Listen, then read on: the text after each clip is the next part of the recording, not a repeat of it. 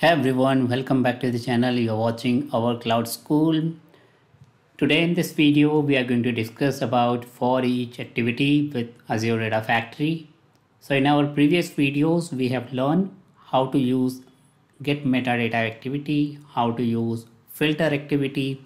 Now in conjunction to those activities, we would like to continue our demonstration and we want to use an activity which can run on a collection and iterate each item of the collection. And for that reason we have to have use an option or the activity which is available in Azure Data Factory. The activity name is for each.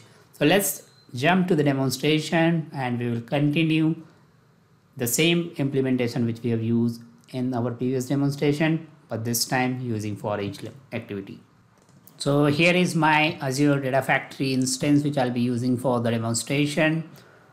I'll be creating a new pipeline and the objective of the pipeline is to basically create a new to copy each file which is of a specific type but not using the copy activity is straightforward but using the get metadata activity filter activity and then for each activity so let's first of all get the information about all the files which are available and we can get it with the help of get metadata activity. And here we have to specify the dataset which we are looking for. So I'm going to quickly create a dataset of the Azure Blob Storage type and I'm going to look for a binary file type as in file format because my files are going to be of different type which is available in this storage account. You can see that CSV, zip, JSON whereas I just want to read the file which is basically let's say of CSV type and having the name as in this.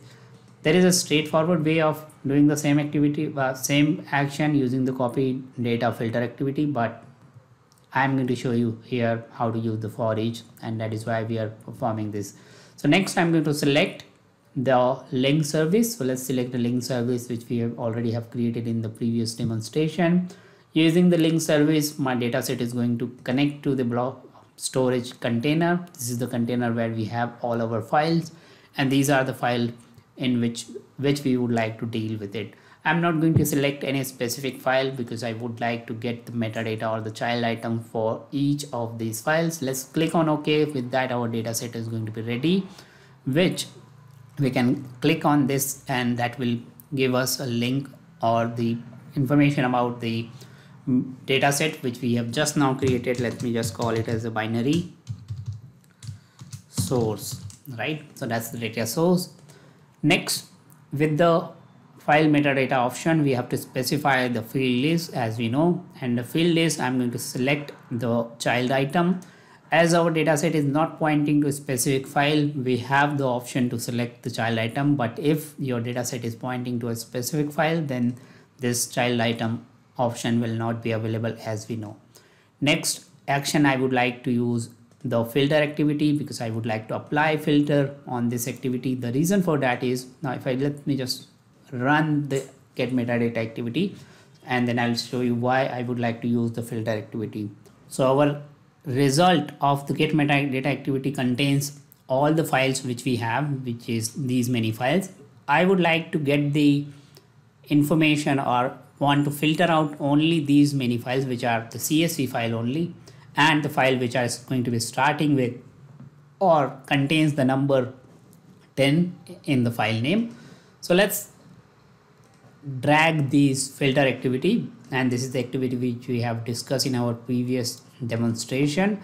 Here we have to specify the collection on which your filter logic is supposed to be run. So for the collection i'm going to use the previous activity. You cannot use the previous activity as of now. The reason for that is because we have not set up a link between the metadata and this filter activity. So make sure that you set up a link between these metadata and filter activities like this. And now if I go to the filter activities items tab items section add new item. You can see that we are getting a new tab which is activity output and with that you can get the activity output here in the filter activity. Now having this in place your filter logic is ready to run on the collection which is a child activity collection. Next, you have to specify the filter condition, which is going to return a boolean logic or boolean output, boolean condition true or false. And if it is true, then it will filter out the condition based on the filter logic. Here you can run the logic on the individual items. If I click on this, this is how the individual item looks like. So what I want to do is I would like to run the condition or the multiple condition hence i'm going to use the and operator or the and method so end of method says that you can apply various number of different different conditions or different different operators and then it will evaluate if both the operators are returning true or not. So here i would like to use the contains method. So let me just check the contains. And within the contains I can specify the logic to check the item. If the item dot name because we have the field name as in the child item contains the property name in which we have the name of the file. And I want to see if the file name contains this. Similarly, next file I would like to check at the rate contains. Let me just search it out. Contains function. I'm going to search for the contains which is this function. Let me just double click it. And I'm going to use the same function which is uh, same attribute which is this item. And within the item we know that the file names are going to be inside this. And here we want to say actually I don't want to use the contains. I'm going to use the ends with right? String function I would like to use.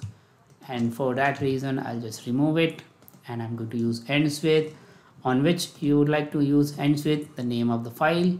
So I'm going to use the file name as an item dot name and ends with let's say dot csv so dot csv I have added double column so this is my condition. Just to repeat if the file name contains this and it is ending with dot .csv then I would like to filter out the file. So this is my condition with that my filter logic is ready. That should return the two different files which is of type csv right?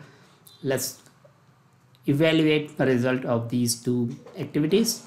The activities are completed. Now my first activity is going to return all the files as we know now the second activity is basically which is filtering out the logic should return only the two files which is containing the number 10 and ending with .csv and that is what we want. Now the next activity we want is the for each activity. So I'm going to use the for each like this. So again we have to join the connection between the previous activity which is filter and this for each activity now for each activity basically runs on the collection. So you have to specify first the collection on which this first for each loop supposed to be run. So that is something you can specify inside the setting. Because any language you go and use the for each or for loop it runs on the collection. So you have to specify the items collection. I'm going to again use the dynamic content for that. And as we have linked our filter activity with for each and then so we'll be use able to use our filter activity output. So filter activity output is going to be this right? Or maybe I can say let me just go and check the output of the filter activity. You can see that we have the output of the filter activity contains a value. So I need to copy this value tag.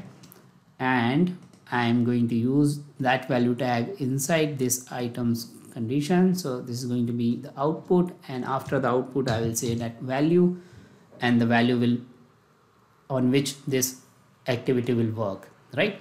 So that is it. If you validate this, it says that it should have at least one activity, which means that within the for each loop, it will run on each item and for each item, what action you want to perform, that is what you have to specify inside your for each loop. And to specify the individual activities inside the for each loop activity you can click on add new activity that will open the same search box what you have it on the left hand side activity column. So i'm going to use the copy data activity for this. Let's double click on this. Uh, so what is it is going to do is it inside the pipeline you are on the for each loop or the for each activity and within the for each activity you have this copy data activity. You can have many other activities as well inside the same thing. It's like the same what you do with let's say c sharp or java. You write logic inside your for each loop. You can write a single line or you can have many many lines of code within your for each iteration right? So similarly here we have the iteration. So what do we want to do? We want to write our data set or uh, we want to copy the file right? Now the file we want to copy so for that we have to specify the data sets. What i'm going to do is i'm going to create new data set. Here i'm going to specify the file delimited which is the csv because we know that we have to copy the csv file. So i'm going to call it as an source csv link service is the same. Link service i want to use it. Keep the header as is then file container i'm going to specify the file container as this right? But here i'm not specifying the file name. So let me just click ok. That will create the data set which we want to use copy the data or copy the file right?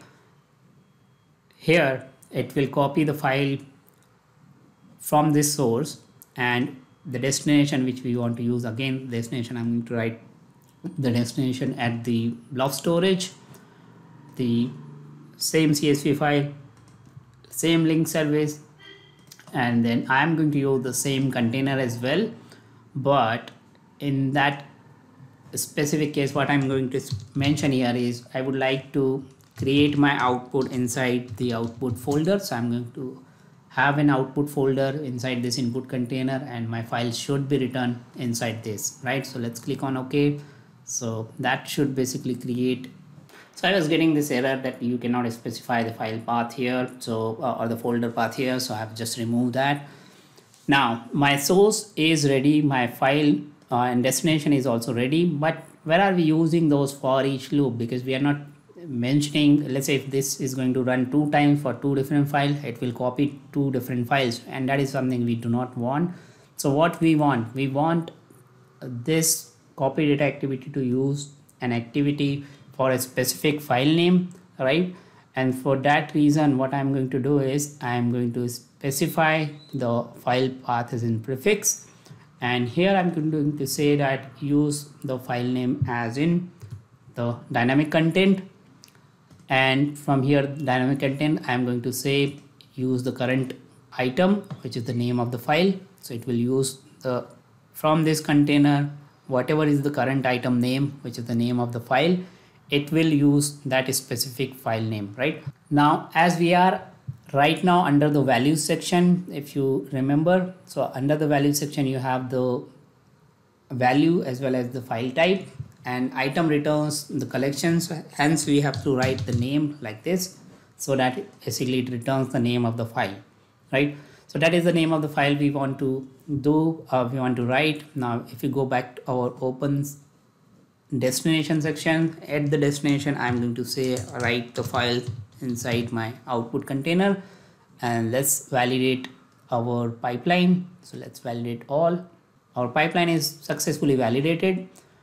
Now just to revise here on the copy data activity the reason i have mentioned the items dot name the reason for that is if i go back to our activities run which is this run you would see that under the value we have the name. And value at the rate item will represent this particular block. For each item this item is going to be this is going to be one item next item is going to be this.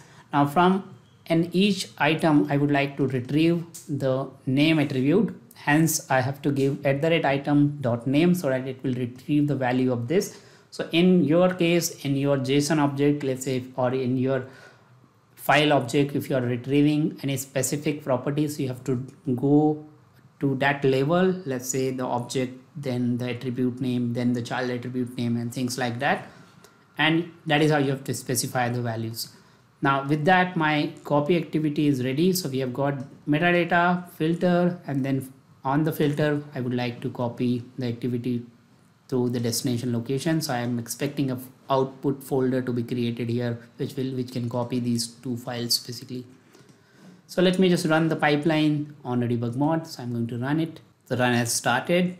So now it's running the uh, our filter activity is completed. Uh, it's running the for each loop and it's running the copy data activity as well. So as we have two files, so it's going to run two instances or two time the copy activity, right? Our copy data activity is also completed.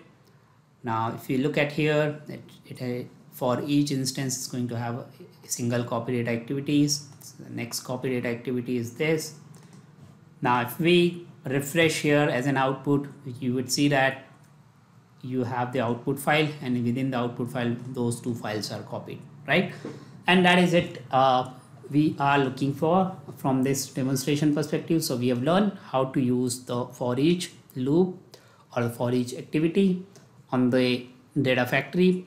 Just to revise the each activity will run on the collection. This is the collection we are looking for and within the activity we can have the different types of activities like uh, copy data activity we have used it here right so that's it in this demonstration. I hope you would be able to learn, uh, I hope you would be able to use the for each activities with your data factory pipeline and you would be able to play around the collection and your logic in your data factory. If you find it useful, if you find it useful, please do consider subscribing to the channel if you haven't already. Thanks for watching it. See you in the next video.